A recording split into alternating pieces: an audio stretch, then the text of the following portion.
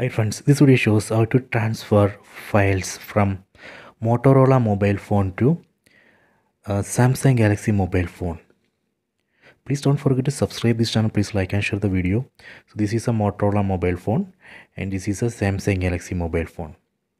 So first in this Motorola mobile phone, let me open this Photos app. Then select one image to transfer. So here I am going to select one image let me select this image select it then tap on share. Tap on quick share.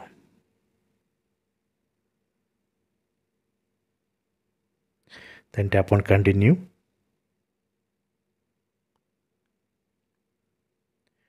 You can see the message nearby share is now quick share. Let me close it. Then turn on bluetooth. Done. So now let me tap on allow now it's looking for nearby devices. Okay. Now let me go to this samsung galaxy mobile phone. So here open the settings app. Tap on the settings app icon. Tap on the search icon. Then search for quick share. Tap on this quick share settings. Tap on who can share with you. So here we have to select everyone then tap on done. You can see this is the name of this samsung galaxy mobile phone. We can see that this motorola mobile phone has detected this samsung galaxy mobile phone. Tap on this phone name.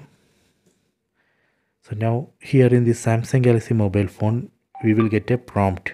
So here we have to select accept. Done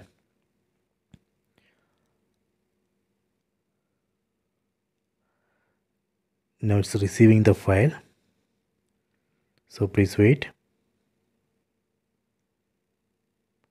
Okay. You can see the progress.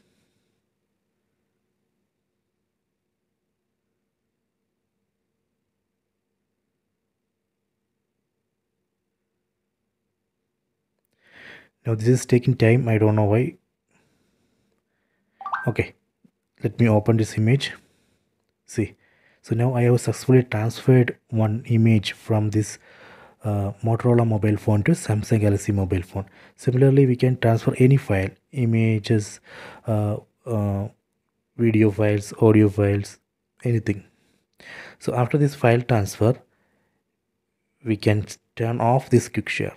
Again go to quick share settings then tap on who can share with you. You can select no one. Tap on done done. So this way we can transfer files from Motorola mobile phone to Samsung Galaxy mobile phone. I hope you have enjoyed this video. Please subscribe this channel. Please like and share the video.